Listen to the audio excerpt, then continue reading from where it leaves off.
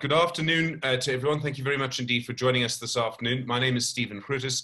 I'm a, a, radio presenter with the South African Broadcasting Corporation, and I've been asked just to host uh, today's proceedings, just to sort of manage things. It's a Zoom call, so we all know it's unmanageable anyway. I'd like to say good afternoon, if only because I think all of us are in time zones where it is already the afternoon. For some, it's just past lunchtime. I apologize. We'll be done in an hour and a half or so.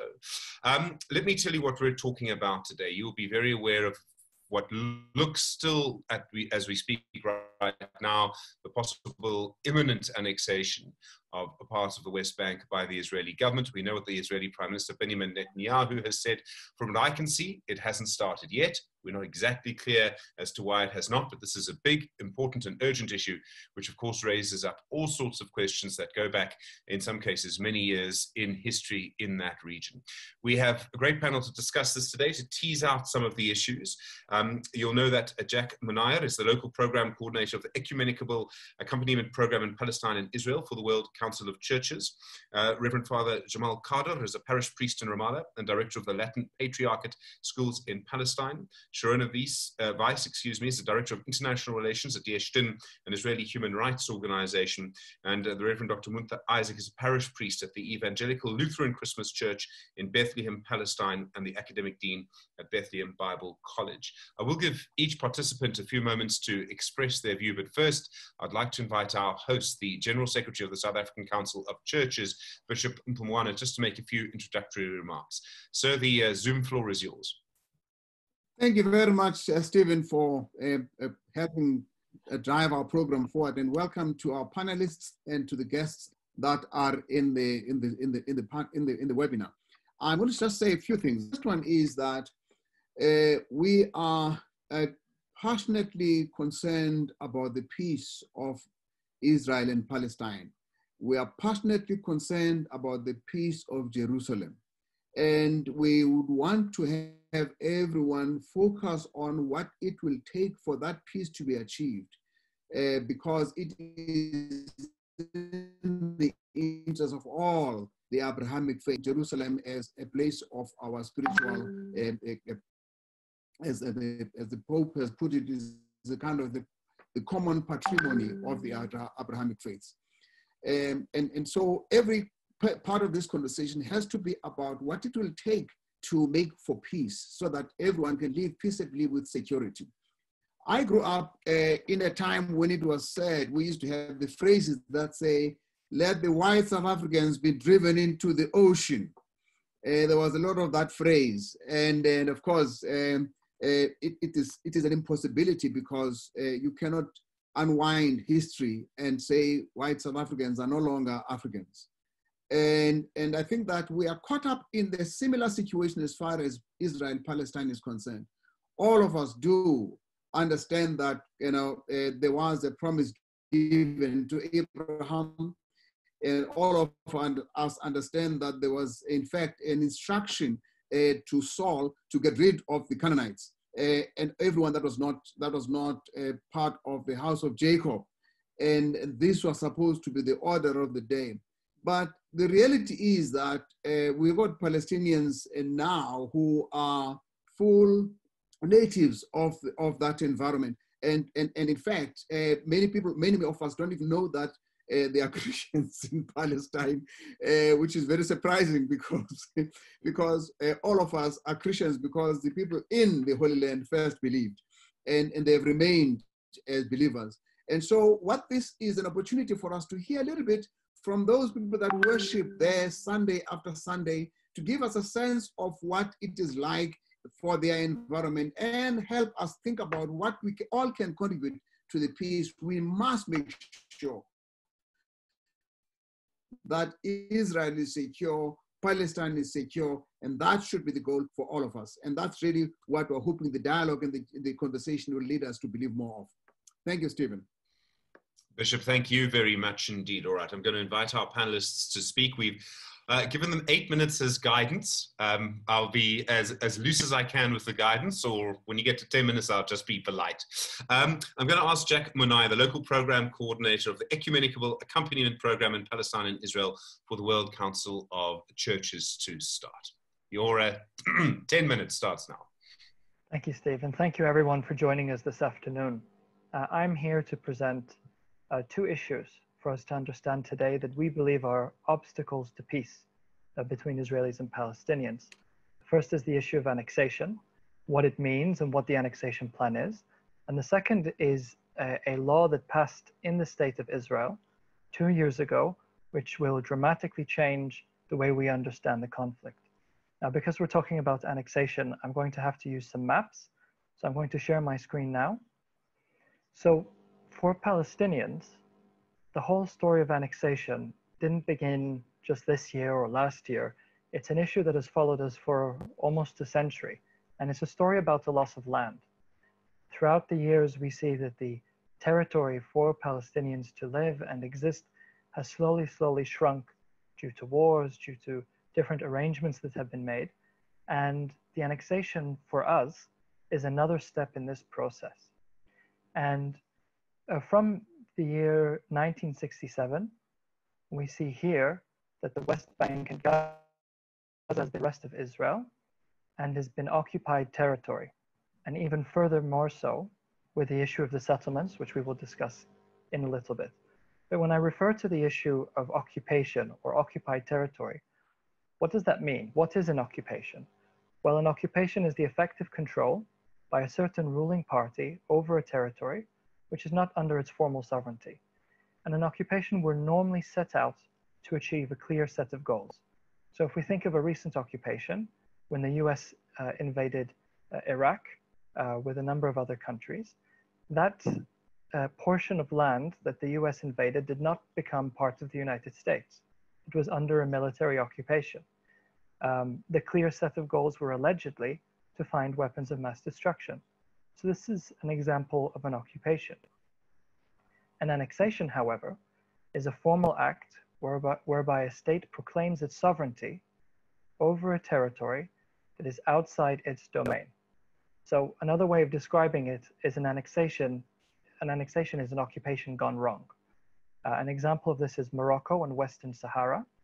Uh, Morocco occupied Western Sahara and then annexed it into its territory, saying this territory is now part of Morocco, it's mine, and Morocco, Moroccan laws now apply there. So to sum it up, what is sort of some of the differences between an occupation and an, and an annexation?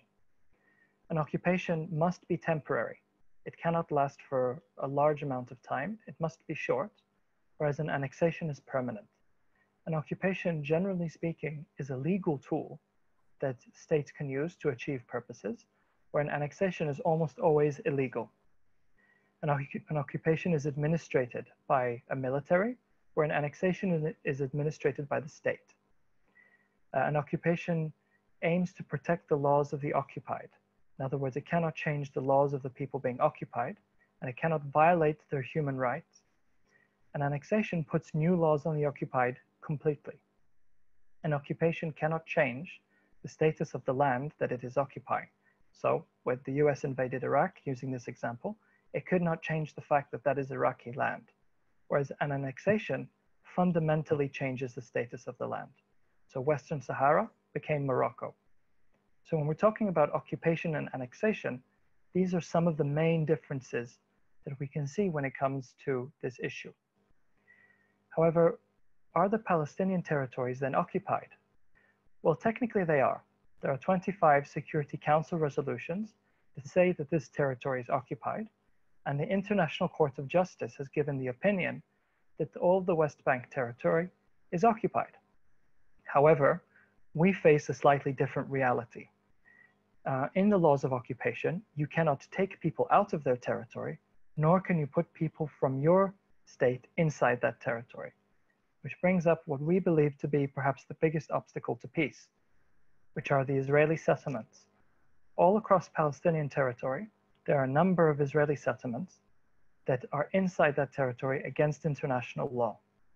These types of settlements are access only to Israeli Jews, where Palestinians have to stay away from them. The impact this has on the community could be anything from uh, natural resources, water, and more specifically roads. This is an example of a settler road, which you see on the left-hand side of the wall, then on the right-hand side of the wall, you see a Palestinian road. This is the type of separation and segregation that we see in the occupied territories as a result of settlements. Well, then why am I raising this? I'm raising this because you cannot really call this situation an occupation. Although technically it's an occupation, the reality is that it isn't temporary. It's gone now, it's gone on since 1967 for over 50 years. The territory itself is dotted, as you can see on this map here. All these blue and purple circles are Israeli settlements in Palestinian territory. And so that's against the laws of occupation. But it isn't exactly an annexation either, because Israeli law hasn't applied directly across all of the West Bank. So Palestinians are stuck between two situations, between an occupation and an annexation. But let's talk a little bit about the annexation plan. So if you can follow my mouse here with the map, all this area, which is light brown, is the Palestinian areas. All the blue area is Israeli controlled area. And this dark blue area here on the right-hand side is the territory that is part of the new annexation plan. If this annexation plan moves forward, it will take around a third of the West Bank territory and will most likely stop any possibility of a Palestinian state being formed in the future. Furthermore, a number of the settlement blocks, which are in the dark blue dots that you can see all across the West Bank, further restrict this option. Jericho, the old city of Jericho, will become an island in the middle of annexed territory. And there are 50,000 Palestinians that live in the Jordan Valley that are likely to lose their homes, are likely to lose their rights, and so there's a lot of uncertainty about what happens next. So perhaps another way to understand this is to look at other historical examples. This map is very fragmented and is divided based on people's racial, ethnic, and religious backgrounds. So we as Palestinians look towards the history, and more specifically the history of South Africa, to understand how these things have come to be the way that they are. Here we see a similar type of islands of territory, which don't really make sense and don't really work. And so unfortunately, our expectation is that we will be living in a similar situation to what we see in this map over here. So this is generally speaking the annexation plan. To take this territory over here and incorporate it into Israel proper, which leaves Palestinians with very little. Now, a second issue that I'd like to cover very quickly is, is a legal issue that affects Palestinians like me. I'm a Palestinian, but I live inside Israel. And so does 20% of Israel's population also identify more or less as Palestinians. So 20% of the population in Israel are of Palestinian background. And they face discrimination by the state and the Jewish majority on a regular basis. Just to give you one quick example, 2% of the coronavirus aid budget was given to Palestinian cities, whereas 98% was given to Israeli Jewish cities. And this type of discrimination and segregation of people is enhanced by a very specific law. This is the new nation state law that passed two years ago. Here are three things that it says, which make it very problematic for a Palestinian like myself to live and in peace with my Israeli Jewish neighbor. The first point is that it holds that the state of Israel is the national home of the Jewish people. It completely ignores and excludes anyone who is not Jewish, which is over 20% of the population. The state views the development of Jewish settlement as a national value. So here again, we are seeing the privilege of one group of people to settle and expand its territory on the expense of the other. And perhaps the most important point, the third point, is that the right to realize self-determination in the state of Israel is unique to the Jewish people, which means I, as a Palestinian Christian living in Israel, do not have the right of self-determination under this new Israeli law, which is a constitutional law.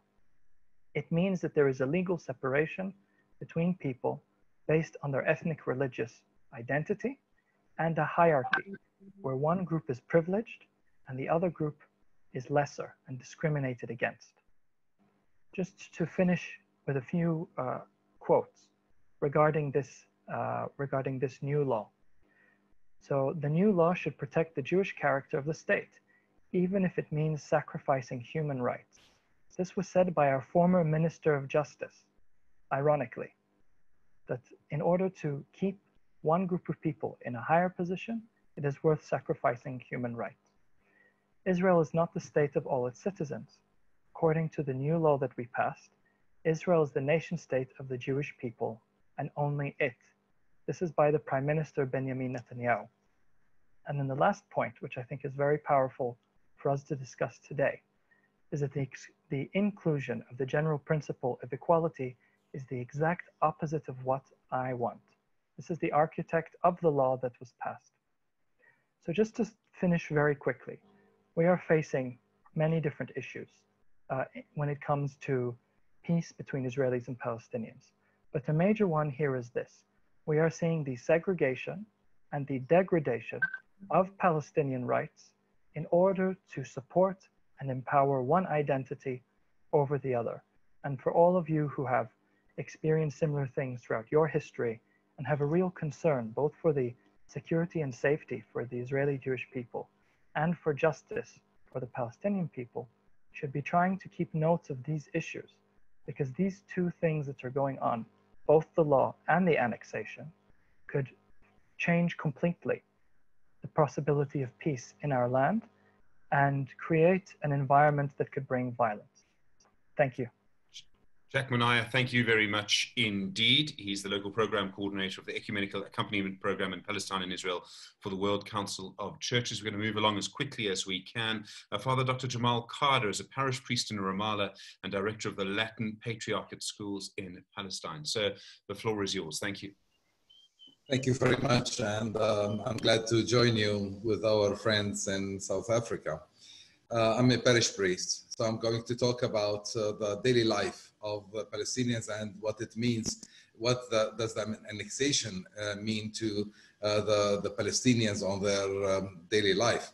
First of all, um, the occupation, the military occupation of uh, the Palestinian territories began in 1967, 53 years ago, which means all my life. I lived all my life under occupation. And uh, we always uh, looked for a, uh, an end to occupation and uh, our freedom. Now, uh, when we look at the daily life and especially the economy, uh, when we see the control of Israel of all the territories, we know that Israel controls the economy as well. So we cannot expand, we cannot export, we don't have borders. Um, uh, so the measures taken by, by Israel suffocates our, our economy if we talk about the right of movement to go from one place to another, the simple fact to go uh, within the West Bank, I cross several checkpoints and I need the permission of uh, the soldiers to go to see my family. Um, I am um, a canon of the Holy Sepulchre and I don't have the right to go to Jerusalem. I need a special permission from the Israeli military authorities uh, to go there. Uh, when I say permission uh, in South Africa, it's called pass. Uh, now I have my pass and it uh, says, uh, you know, the dates, where I can be, uh, the hours, etc. So we still live, uh, I'm, I'm, fortunate, by the way, as, as a priest to have uh, this pass to be able to go to Jerusalem. and if I want to organize any kind of pilgrimage for our parishioners to go to Jerusalem, which is 20 kilometers from Ramallah, by the way, it's a very complicated process uh, to, to go to visit the Holy Sepulchre and the holy places uh, here. So um, it's even more complicated for young people uh, in our schools uh, to do the, the, the, same. We were not able to take them to, to Jerusalem uh, to see the holy places. So uh, we talk about every single aspect of our lives. Yesterday, a parishioner came and he just asked me to uh, do the possible to for him to obtain a pass for his mother to go to see a doctor inside Israel. And I called uh, our church and uh, we promised we'll do our best uh, just for him to go and to see uh, the, you know, the, uh, the, the, doctor. She's an old lady. so those are um, another friend from Beit Jala lost almost three quarters of his land because Israel is expanding the road linking uh, Gush Etzion uh, settlements with Jerusalem. Uh, so people are losing their, their land and many lands are threatened um, in, um, especially in Bethlehem area, but also in Ramallah area and other places. So uh, the country is uh, very small, by the way. Uh, so to lose land is to lose the income or li livelihood for, for the, the Palestinians. So when we talk about occupation, about annexation of this land, it touches all aspects of our daily life. and what's important I see is that people uh, lose hope uh, of having a just peace, creating an independent Palestinian state living in peace side by side with Israel. Uh, uh and the, the, question now is how can we have an independent uh, state when we have, uh, when they will annex the Jordan Valley? We will not have borders. Or the, the, territories will be cut in small pieces here and there. So all those questions are serious questions uh, and pushing people to uh, lose hope in a future of peace. And you know how dangerous it is for young people who may begin to think about leaving the country, looking for a better future in, in other places, or maybe other people commit disparate acts also. Uh, so all those things are very dangerous, not only for our present life, but also for the future. And as a pastor, and when I preach the word of God, and when I hear the use of the word of God, uh, that's a very important question because I'm talking about my daily contact with uh, the faithful. Um, we know from our history that many evils in the church were justified with the Bible. Uh, slavery was justified with the Bible. Apartheid was justified with the Bible um, you know, um, in the name of God, uh, you know, many people did wars uh, against others, etc. So I think that we should learn from history, and especially our brothers and sisters in South they know very well what it means uh, to use and abuse the word of God to justify, um, you know, injustice. So in our case, if we talk about uh, occupation and uh, we say this is uh, the promised land that in the Bible God gave it to his uh, chosen people, etc., that's a very dangerous uh, use of um, and abuse of the word of God, justifying the oppression of the Palestinians. Uh, those who um, bless Israel or curse Israel will be cursed by God. I, the God that we know is a just uh, loving God. We are all children of God, and He loves us all. And we can never accept that the plan of God will include the suffering and the nakba of the Palestinians. So when we hear those uh, interpretations um, of, the, of the Bible, it's a question of life and death for us. It's not an abstract science to interpret the word of God for us. It touches our lives. It hurts uh, when we see our brothers and sisters using the, the, the, word of God. So let us keep the innocence uh, of, uh, of God and keep the word of God as good news, as source of life for everyone. Uh, we keep receiving you know, questions from our parishioners. Uh, we, need, we need to read uh, and to, to um, you know, study the, the, the word of God as source of life source of justice for everyone. So those are my introductory uh, comments about the daily life of our community, the dangers for the future of the Christian community, and uh, the way of reading the Word of God uh, to give life, not death. This is a living word, a, a word that gives life, never death. Thank you very much. Uh, Father Dr. Jamal Khader, thank you very much indeed, Sir, uh, parish priest in Ramallah and director of the Latin Patriarchate Schools in Palestine. Uh, we'll move on. Sharona Weiss is the director of international relations at Yesh Din, an Israeli human rights organization. Uh, Sharona, I'll try and give you as, as much of the 10 minutes as you're allowed. Thank you. Go for it. I'll try to make it uh, faster than 10 minutes, but we'll see. Um, and thank you to Jack and to Father Jamal for the excellent, first of all, the excellent background from Jack and the um, personal stories from Father Jamal as a Palestinian living under occupation.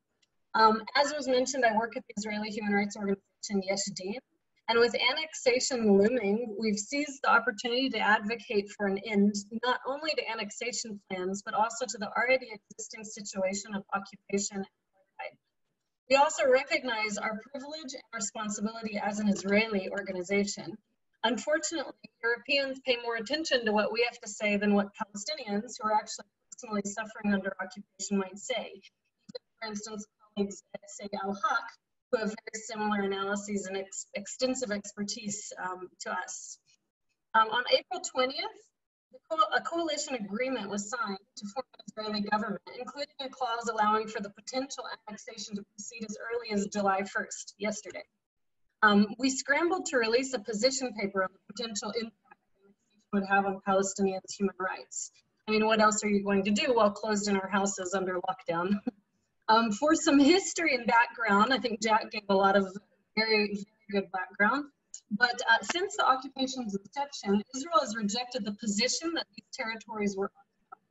Even beginning with then Commander Abba Eban, who laid down the position that has remained more or less the same, using the term disputed territories as a way to whitewash its responsibilities, while still assuring the world that its activities and violations in occupied territory were merely temporary as obviously as Jack showed with the maps, and as he mentioned, there are many reasons to believe Israel never intended to its control of the land or domination over the Palestinian people, even from the start. However, in theory, this was the position. Netanyahu's government is really the first to completely retract from this position blatantly in several ways, including via measures and steps towards annexation. Now keep in mind that the prohibition on annexation of lands conquered by force is connected to principles of international law that passed after World War II, prohibiting states from using force for exploitative aims by allowing um, exploitation of occupied territory and even more annexation. This would incentivize wars of aggression and exploitation, shaking the entire international order, rendering these international principles meaningless. So it's not only about Israelis and Palestinians, though also that, but it's also about all of us around the world. At Yesh Din, we began monitoring the situation of de facto or creeping annexation several years ago, with our first in-depth report on the matter being Occupation to Annexation in 2006, in which we examined the silent adoption of the recommendations given in the Levy Committee report. This committee was appointed in 2012 to advise the Netanyahu government on um, what to do with the so-called unauthorized outposts in the West Bank. This government-sponsored committee released a report essentially stating that the laws of belligerent occupation and the Convention are not applicable, and set forth a number of ways for retroactively authorizing most illegal Jewish construction in the West Bank. Note that no such mechanism was given for authorizing illegal Palestinian construction, despite that Palestinians have almost no chance of receiving legal building permits from the Israeli regime. Our report revealed that in the years after, government was silently implementing many of these measures while telling the world at the same time that it was still striving for a two-state solution and that its activities were temporary. However, in the years following our report, the government ceased even claiming its efforts were temporary in 2017, the regularization or expropriation bill passed, allowing for the retroactive authorization of nearly all um, unauthorized Israeli construction and the expropriation of significant amounts of Palestinian land. The High Court just dismissed this bill last month, likely knowing that annexation will soon proceed or that other measures are possible. The government also began speaking of annexation much more openly with US support. During Israel's 20th Knesset, 60 measures were introduced, eight of which passed, indicating some application of Israeli sovereignty in the West Bank. So now we've arrived to this point where we have full-blown annexation potentially happening in the coming days or months. Yesh Din has identified several actual ways that annexation could harm Palestinians' human rights, not only for those living within annexed territory, which is likely to be very few based on the maps that have been but also to those living in other areas of the West Bank. First of all, annexation would entail a significant violation of Palestinians' property rights and the ability to, to develop. With Israel's declaration of sovereignty, we would expect significant amounts of land expropriated for settlement expansion and for construction of roads. A likely way to do this would be to use the absentee properties law of 1950. which was used to transfer Palestinian land and property to Israel following the 1948 war, and which is still being applied in occupied East Jerusalem, leading to, to evictions there to this day. The law stipulates that property owned by a citizen or resident of a quote unquote enemy state or a person in mandatory Palestine but not someone who is absent, such as living overseas, could be immediately transferred to the custodian of absentees' property in the civil administration.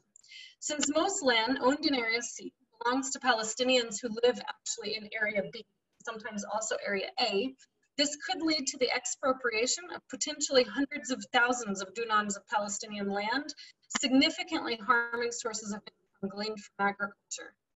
Even if this land is not all expropriated, Palestinians living in areas B or A would have to gain permits to access their own land in Area C or in annexed territory, or something akin to a visa. This is already the case for who own land adjacent Israeli settlement jurisdictions. These permits are arbitrarily given and taken at will for a mere few days a year. And during those few days, Palestinians often encounter significant violence at the hands of Israeli settlers. We would expect this to be the case with many more dunams of land should annexation proceed, preventing Palestinians from gleaning their livelihood and from enjoying their own natural resources. In addition, settlement expansion would impede development. Palestinian communities, even in areas A and B, are surrounded or bordered by areas C and areas facing potential annexation, which means that annexation would restrict and impede their expansion or any development of these communities. In addition, any communities within annexed territory, which would be very few, would probably not receive priority for planning, as is already the case even under the current military regime. Annexation would also have significant impacts on Palestinians' freedom of movement. We would expect increases in road blockages, lack of access to roads, which construction would advance to connect Israeli settlements, while Palestinians would be denied access to many main arteries. Entry into annexed territory, including roads, would be governed by the entry into Israel law, forcing Palestinians to either obtain a permit from Israel or go around the annexed territory, often taking significant detours. In addition, certain plans, including Trump's proposed plan, would include the Jordan Valley, annexation would make it much more difficult for Palestinians to travel overseas and to leave the occupied territory at all, as they would pass through annexed areas to travel um, to Jordan, and that would require special permits. In addition, we anticipate a heightened threat of demolitions and expulsions of communities not recognized by Israel, such as herding communities. Maybe some of you have heard of Khan al-Ahmar. Um, also, there are many communities in the South Hebron Hills in which Israel will not, will not um, actually recognize the communities and list the residents in nearby Yatta.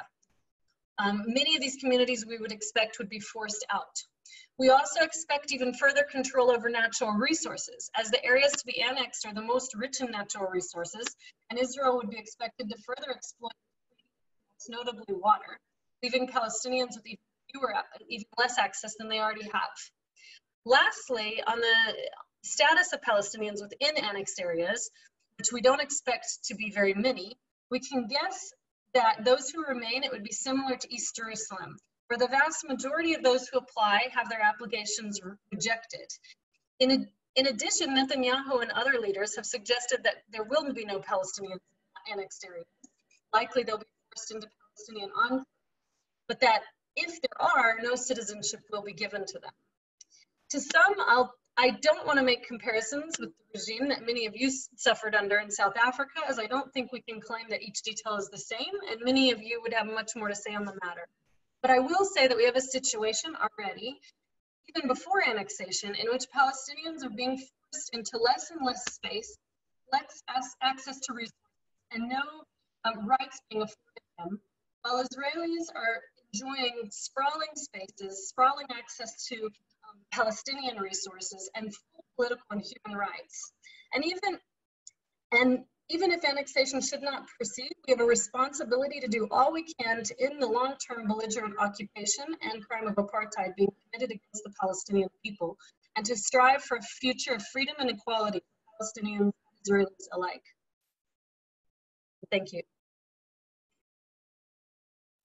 Sharona Weiss, thank you very much indeed, Director of International Relations at Yesh Din. It's an Israeli human rights organization. All right, we are, of course, going to take questions on the chat. You know how it works. You chat in the questions. and we've got some coming in already, and we will go through them for the panelists, and I'll sort of moderate that as we go. But first, we have our, our well, our final speaker, not our least speaker, just our final speaker, chronologically speaking, Dr. Uh, uh, the Reverend Dr. Munther Isaac is a parish priest at the Evangelical Lutheran Christmas Church in Bethlehem in Palestine and the academic dean at the Bethlehem Bible College. Uh, uh Father Isaac, uh, you have your uh, 10 minutes. Thanks very much. Thank you, Stephen, and all. And it's my joy and privilege to be with you. And um, I would like first to thank all the panelists for uh, their important presentations. Uh, and if, if anything, I want to say is that really the occupation impacts every aspect of our lives as Palestinians. And now the annexation will make it even worse. And as a pastor, um, dealing with these issues is the norm. You know, we have family, uh, family in our church uh, whose land is under threat of confiscation. We have families who are struggling with their residency rights in Jerusalem. Uh, we have a family who had to simply leave the country because Israel would not grant the spouse the visa uh, to live uh, in the land. So issues of discrimination are issues we face, uh, let alone the checkpoints we have to pass on a daily basis and the humiliation we go through on these uh, checkpoints. But when you look at our history as Palestinians, and this is what I would like to take, you know, devote my five minutes on, is is how the Bible has been used in all of this, uh, all of this injustice. Uh, and, and it's no exaggeration to say that for us Palestinians, this is kind of the double, uh, the, the, the, the, catastrophe or, or Nakba as we call it in Arabic. The idea that as if it's not enough that we had to go through all of this injustice, uh, it has been done in the name of the Bible and the God of the Bible. And I'm not simply here calling out the Zionist movement. I'm talking about Christians who support the injustices that go through us in the name of the Bible. Uh, Christians who look at the land and only see uh, one side. They look at it as a Jewish land, as if there are no Palestinians living in it. Uh, so they see an empty land, uh, or even they see a land, and then we as Palestinians are the, the wrong side, the bad side, the, uh, that's why we are often dehumanized and called out as terrorists and so on because we're the enemies. And they don't see us, uh, uh, they don't see our, our, existence. Simply using languages, the land belongs to the Jewish people as an eternal possession, for example. And we simply say, what about us? We've been living here for hundreds, if not thousands of years. What is the proposition here? Uh, is it that we leave the country? Uh, is it that we accept to live as second class citizens? And, and, so it would not do to simply use these theological phrases and say, yeah, Jews have the right to the land without answering the question of the Palestinians who've been living here for all of these years. Uh, and as a theologian myself, I had to wrestle with this question Does the Bible really teach that? Does the Bible teach a message of discrimination that God privileges one people over the other? Uh, and you know, when you read the Bible, you don't see that. I mean, even the the messages that or the verses that are often quoted by Christians who support Israel. For example, the Abrahamic promise and the Abrahamic blessing. Uh, Genesis 12, the Abrahamic promise is a promise of blessing through Abraham and his offspring to all the nations of the world. Uh, it's, a, it's a very universal and inclusive uh, promise. The whole idea, I will bless those who bless you and curse those who curse you, if you read the Bible, it leads us to God's desire to bless all the nations, and ultimately that was uh, fulfilled in Christ, and has nothing to do with how Christians should shape their foreign policies 4,000 years later.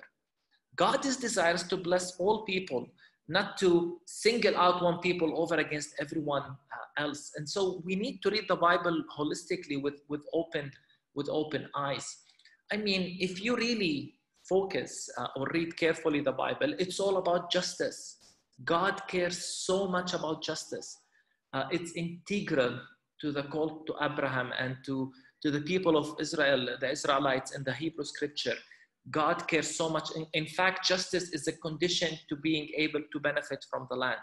In fact, I would even say, and, and I've written a lot about this, the gift of the land was uh, the purpose behind the gift of the land is to uh, guarantee that everyone is cared for, to create an ideal situation in which justice rules, in which uh, there is no one oppressed, no one left out, not even the stranger, not even uh, the widows, the, the poor, everyone's to be cared for. It's part of the covenant, and the land is part of that deal. It's not simply you have the land as an eternal possession, everything belongs to God uh, ultimately.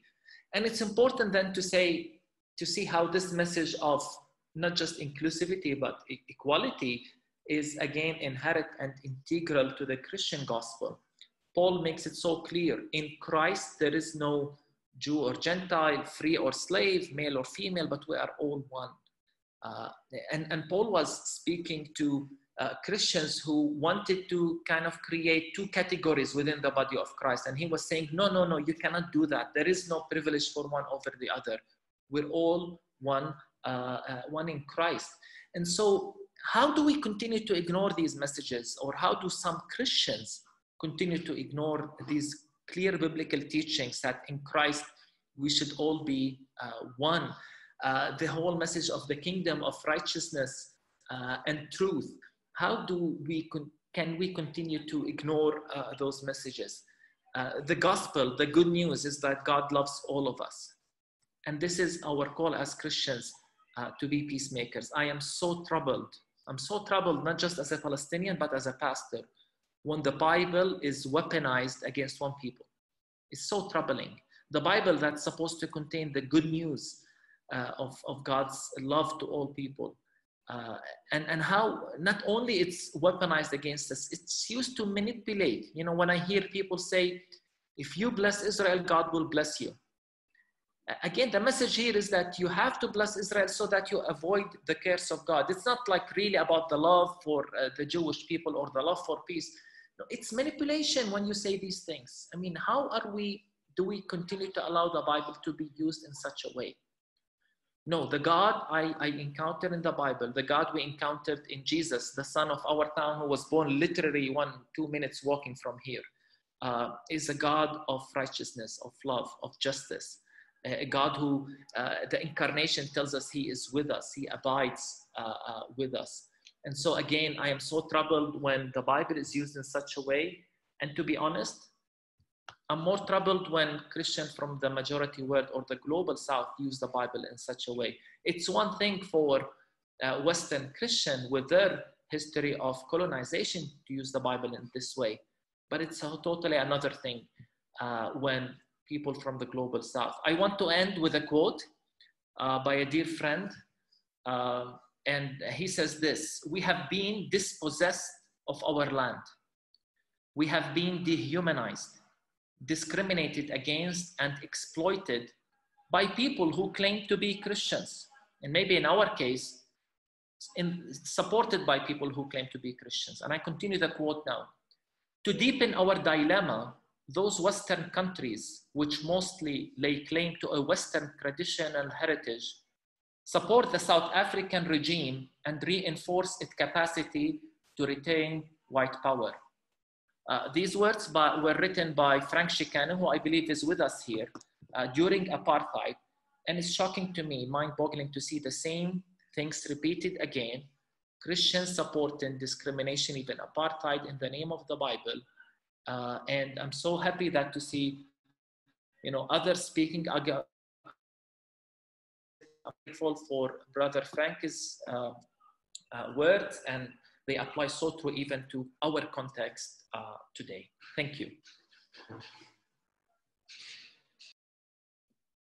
Uh, Dr. Munther Isaac, uh, Father Isaac, thank you very much indeed. I really do appreciate the presentation. Right, we're going to start moving to uh, some of the questions now. You can use the chat. There is the Q&A function as well. I'll sort of look through them as we go. Already, I must say, lots of comments. Uh, it is a, a, contentious issue with a long history, so lots of um, polite disagreement, which I think is what we would expect. Um, I do want to start, uh, Sharon, with a question to you, several people have made this point, and it has been made even before we started the webinar, which is is this all just about Israeli politics? And the question really goes to this is it really going to happen? Or is Netanyahu, or is uh, the Prime Minister of Israel, Benjamin Netanyahu, just did he just do it for the election? And there's a corollary here. I don't know how, how aware you'll be of the arguments that in South Africa we have around land, where, where, where most white people own most of the land and very few black people have any land at all because of our history. And, and the question comes that this has been used many times in South African politics to get votes and then it falls away, the question falls away. Is the same thing going to happen here? It doesn't seem like it, even though we haven't had the annexation happen yet. Um, to be to be honest, I can't answer 100%. Um, but one thing that, according to our what we see in Israeli politics and what we also know from experience, there's two things. One, it's already been happening. So the government, especially as I said, 2017, has already been taking uh, measures and taking steps towards de facto and even de jure annexation on the ground and begin beginning to apply Israeli sovereignty, even though there hasn't been any major announcement. Um, so this is one now, as far as annexing whole, for instance, settlement blocks or whole parts of the West Bank, um, it's hard to know, but we do see that probably the Israeli government wants to seize this opportunity. They only have the guarantee of having a very, very supportive um, government in the US up until November. And then there's no guarantee that Trump will be reelected. Um, now, I will say I don't have much confidence in Biden I think Biden, anything that does happen before November, Biden is not likely to reverse. So do know that, but that gives the Israeli government all the more um, impetus to try to take action between now and November. Now, when that'll happen and how it'll happen is a big question because we, it's obviously, it doesn't seem like it's happening this week. And it may be that the government takes small steps in the coming months, but I think they want to take steps because they they have basically until November or maybe at most January um, to, to truly take um, to make decisions that can't aren't likely to be reversed. So, in short, that's that's what I would know, it's, it's, politics and therefore in a way difficult to predict and all sorts of things can happen. Sharona, thank you. Mm-hmm. Jack, I would like to ask you a question. It sort of has come through in the chat in different ways from different people. So let me try and sort of put it together. And I'm sure it's an argument that, that you've dealt with in the past. The issue around identity, and I thought your, your quotes at the end of your, of your powerful presentation, the quotes were particularly powerful. Israel says that, to sum it up, and I'm oversimplifying now, Israel says that Jewish people would have more rights than Palestinians, that it's explicitly a, a Jewish state. And, and you will know the argument that can come uh, sort of against the Palestinian people in a way. And again, I'm going to put this very crudely that Palestinian people won't allow Jewish people to live in their areas. In a way, the argument really is that, and I think the argument is used by people who justify some Israeli policies, that Israel can treat Palestinians like this because Palestinians would treat Jewish people in the same way if things were reversed.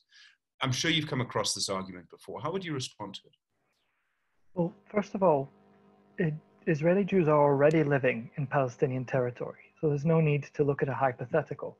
It's something that's already happening, and so um, th- this is a situation which already exists, and it is and it is going on. Second of all, whether you take them seriously or not, the PLO has announced that they would give full Palestinian citizenship to any Israeli that would end up on the Palestinian side of a future peace agreement. Uh, but to be honest, uh, these types of questions, I think, um, don't help us move forward. Our, our, our, um, our goal is to have peace both for Israelis and for Palestinians. And I think uh, people like Sharona, myself, uh, Munther, uh, Father Jamal have all engaged with people from the other side who want to have peace and can live together. Uh, there are uh, peace builders and peace uh, activists uh, who are already implementing um, joint lives together. So I don't really buy these arguments of hypothetical. The second aspect is um, the what if argument, I don't think is a very good one. Uh, th this is the reality of the situation that we're in. And we cannot make decisions based on what if and what if. And if we want to hold ourselves to this, the standard of the worst, the worst level, then then that's not a very high standard. In other words, what I mean is, if we say, well, if they did this, if they're going to do this to us, then we might as well do it first. I don't think that that's a very uh, that's a very human rights based approach. I don't think that it's uh, a good one for equality and a good one for justice. Uh, and especially as Christians, if we want to love our neighbor as ourselves, we must treat people the way we want to be treated. We don't treat people based on how we assume they're going to treat us. Thank you. Thank you for your answer. Um, uh, Father Dr. Isaac, if I can, if I can just ask a question around you, you spoke quite powerfully about the Bible being weaponized. I think was the phrase that you used, um, and we we've seen this entering politics in many countries. I mean, there's a long history here. It does seem that this is happening more, more and more often and it would it would strike me and i'm not someone who would call myself a religious man and i'm not studied in these things but it would strike me that what you're likely to see is two different groups of people and you have this i think in the middle east and you have it in south africa to an extent. You have two different groups of people who believe in two separate facts two separate sets of facts. And this has happened in the united states largely even around things like covid-19 um, what does this mean then for almost all of Christianity if we have different groups of people who profess to be Christians, and I think we must accept that they are, and yet they believe completely different sets of facts and different versions of the Bible when it comes to the Holy Land? What does that mean? Well, that means that we have to, uh, first of all, listen to one another. And oftentimes, you know, uh, people who, you know, again, just weaponize the Bible, what we tell them is, come to our land, sit with us, and discuss the, the realities on the ground. Uh, and then let's read the Bible. See, see with your hand, the, the, and I think this will change the whole uh, uh, discussion. It's so much comfortable for someone sitting in the comfort of their office somewhere in, in the United States or Canada or South Africa and interpret the Bible devoid from facts on the ground or from how that interpretation impacts uh, uh, uh, lives uh, on the ground. So I would say, come and let's have uh, a discussion. And I would second say, regardless of, you know, uh, here's how I would put it. If my theology or my interpretation, Stephen, produces a version of discrimination or produces uh, injustice or a vision in which God favors one nation over the other, I think there's something profoundly wrong with that theology. Uh, I think, you know, we, we say we use two fancy words in, as theologians. We say the true test of orthodoxy, the right theology, is orthopraxy, the right practice.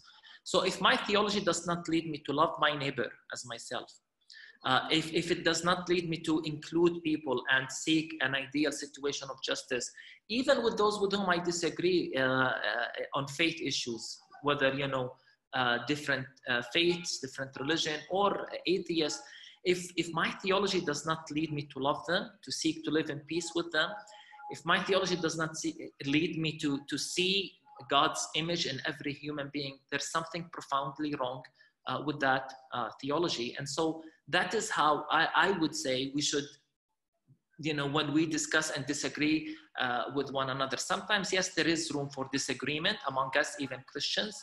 Uh, but when that disagreement seeks to eliminate a whole people, let alone, you know, your sisters and brothers, there's something profoundly wrong with that uh, theology. Thank you. Um, if I could ask, uh, uh, we've got some questions coming through on the chat now, and I'd like to sort of go to them as well.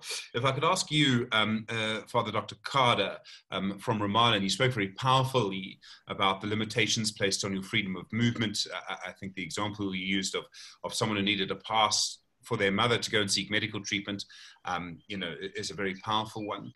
Cheryl has asked on, on the chat, she says, please explain the similarities of apartheid practices that are enforced in Israel today. I've been to Israel, I haven't seen separation. Current uh, Judea and Samaria controlled by the PA, the Palestinian Authority, in Gaza controlled by Hamas, who do not have peaceful intentions towards the only Jewish state. That's the question that she's put through. I think uh, many people are using this old cliche uh, and repeating it, uh, and those are um, only cliches. Uh, we are talking about uh, the violence of the Palestinians. We condemn any violence.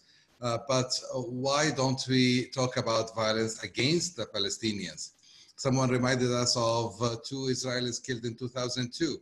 What about the Palestinians killed this week and continue to be uh, killed? It's, um, uh, it's a wrong path to compete uh, for uh, victimology, meaning that, you know, who's more victim than the other. How can we work just to have a just situation? In, in our case, as I um, am a Palestinian from the Palestinian territories with this color of my ID, uh, I have less rights. I don't have the right as a Palestinian to build uh, a house, a factory, anything in more than 60% of my land uh, because it's Area C under Israeli control.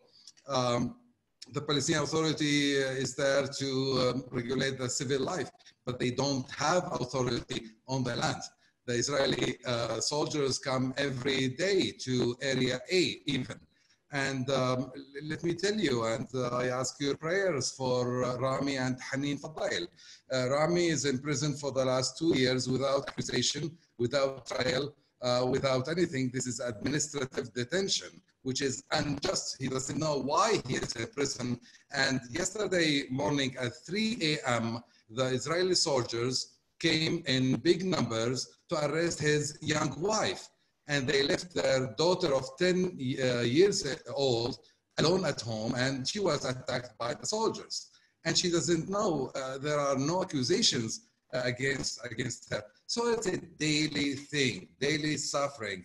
Uh, uh, you know, the right of movement, the right of developing our economy, uh, right of um, family unification, um, there are many rights that we are denied, uh, and in many places that we, we cannot live. Even for Palestinians living inside Israel, there are areas where they cannot live.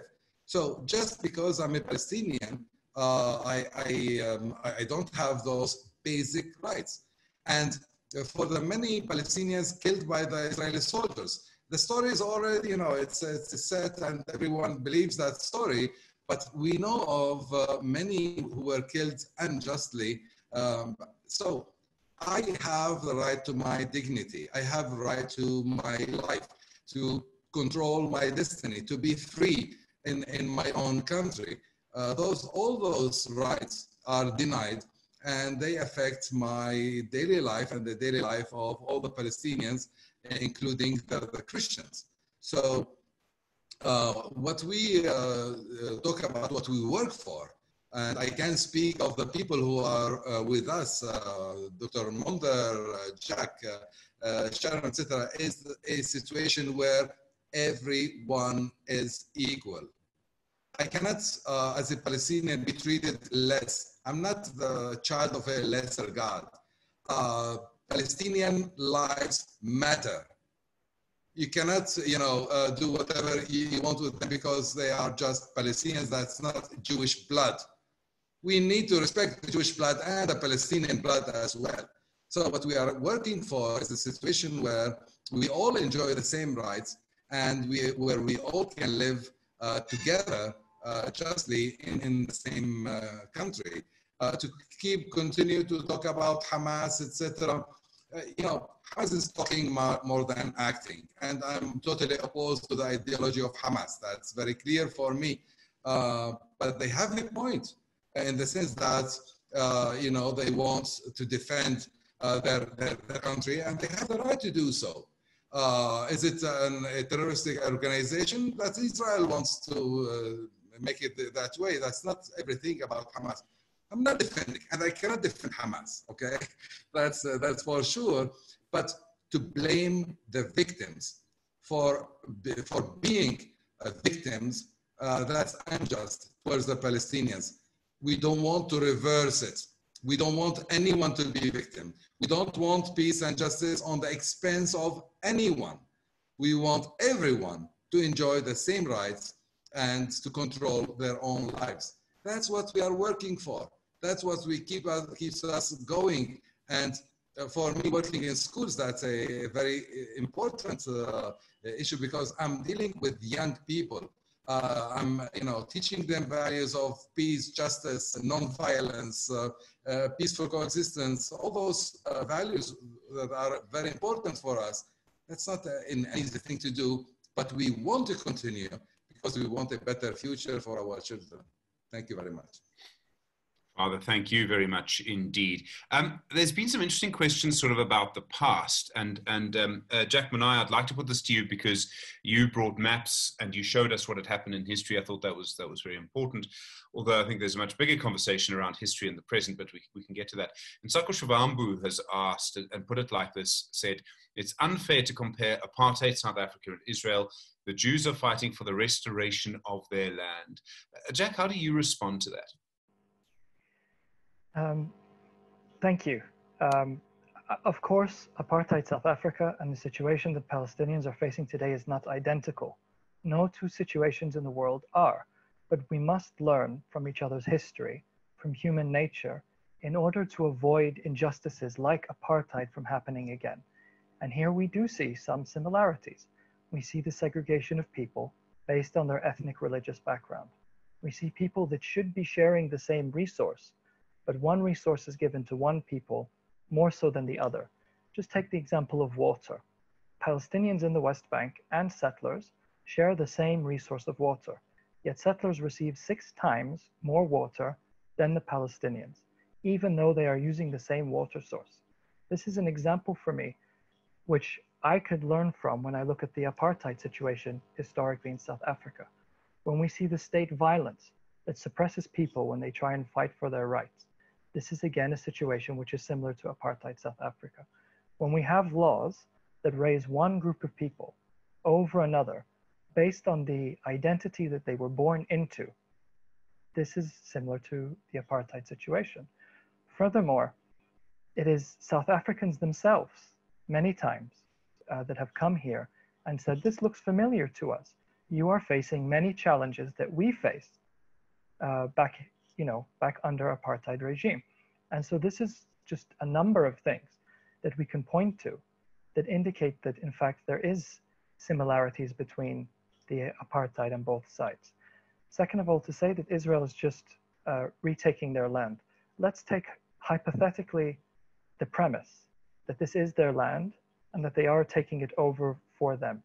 That doesn't mean that you that apartheid cannot exist in that situation. You could be freeing your land and create and committing the crime against uh, humanity, which is apartheid. And so in this situation, we see two peoples living in the same area of land, the same resources, but one group controls the other, one group is able to limit the rights of another for their own identity benefit. And for this reason, we say there are similarities that we can point out when it comes to apartheid South Africa. Sorry, there we are. It's an, it's an important response. I would like to talk, and we, we, we, you know, we're focusing specifically on the role to an extent of Christianity in this.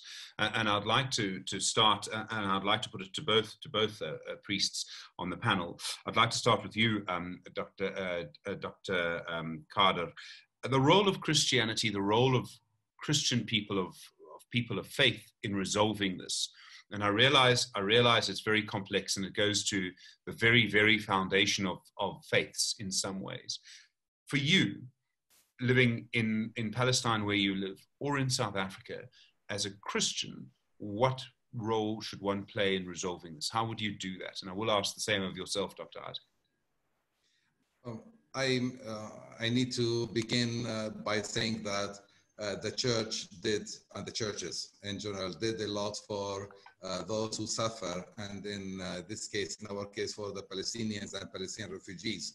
Uh, I am a Catholic. I can talk about the Pontifical Mission for Palestine, about Caritas Jerusalem, about the institutions of uh, the Latin Patriarchate. Um, imagine that we have, um, you know, more than 115 Catholic schools in Palestine, and uh, and we have a lot of friends and not only Catholic schools, by the way. And I'm, talking about what I know as, as, a Catholic, but I know very well that other churches are working uh, very close with, with people. And I know that we have a lot of friends all over the world who support us, support our mission, the mission of the, the church in uh, the, the, daily needs uh, for, for the church. What I expect from Christians uh, actually are two things. One of uh, them is the right reading of the Bible. It really hurts when I hear a fellow brother and sister, a Christian, who tells me that you were you are expelled from this land because that's the plan of God. Uh, the God's plan uh, is being fulfilled with your catastrophe. It hurts. Uh, let us go back to the basics of our faith, of our uh, when we see God as a uh, just loving God for everyone, Jew, Christian, Muslim, Buddhist, non-atheist, etc. He's he's God of everyone. I, I expect to uh, see the, the gospel as a gospel of mercy, uh, not as a weapon that we are using. The second thing is to have a, an influence in their respective countries on uh, political decisions. Because we have friends in the uh, civil society, uh, but uh, when it comes to governments, it's more about the interests of the government or what about the elections and you know many other things how to influence uh, the uh, politics of our respective countries with our own values. When we uh, seek justice for, for everyone, when we can influence um, those that we are electing in, in you know, our, um, our countries in order to work for justice. And believe me, uh, that uh, the, um, the conflict and the suffering of the Palestinians has a lot of, have a lot of negative consequences on the relations between countries in the Middle East and uh, beyond. And if uh, and if and when peace begins in Jerusalem, in the Holy Land, it will have a very positive impact on the whole region and in, in, in the you know peace uh, all over the world. It should begin here. We can give an example that yes, we can live with our own differences, uh, but that's what we need to work on all together, everyone in his own or her own country, uh, to work for a just peace uh, in, in Palestine, Israel.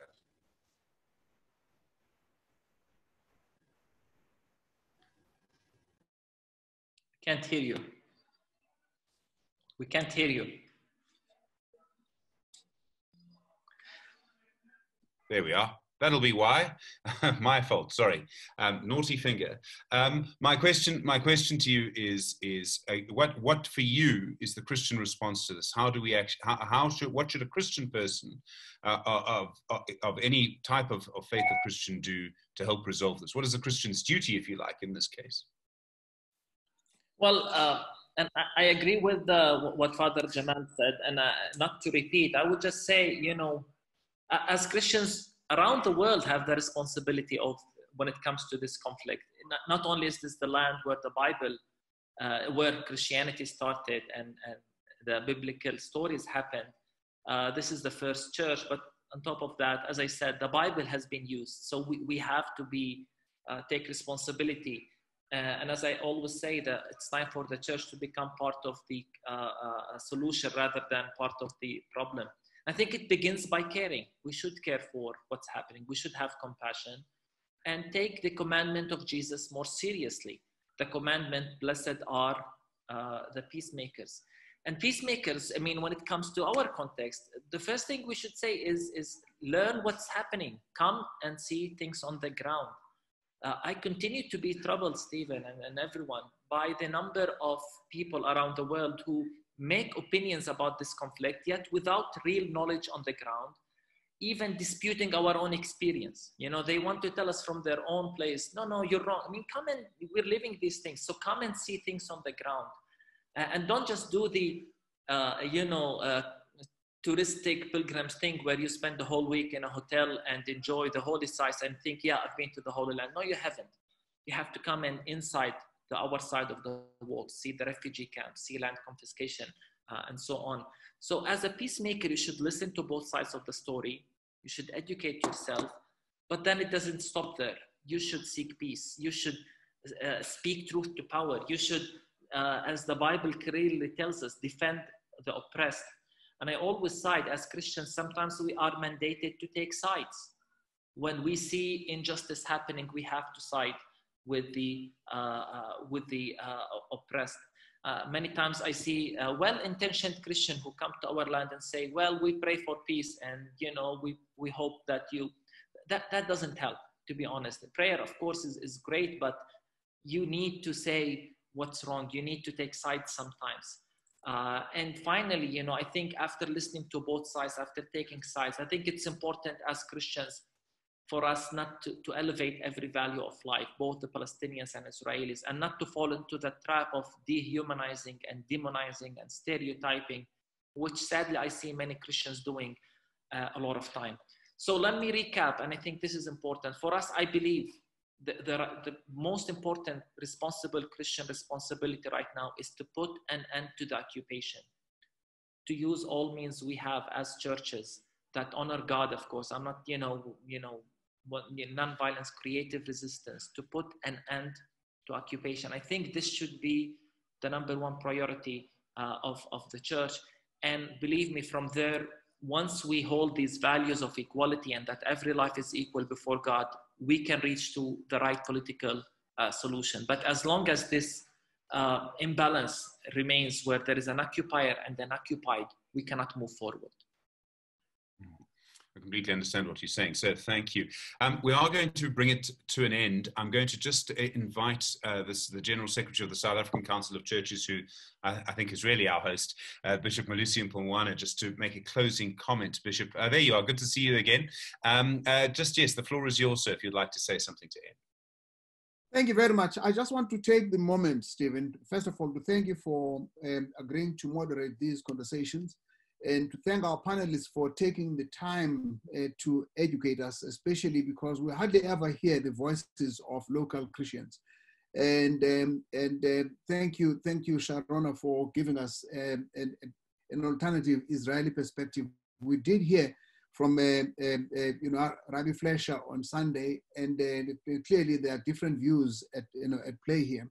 I want to thank the participants for taking the time to be here with us, all those that have sent questions. Um, I'm, I'm grateful for the questions, the probing questions, uh, especially also from the friend of Friends of Israel, uh, you know, participants that are in the group here, uh, because they, they actually enable the debate to be that much richer.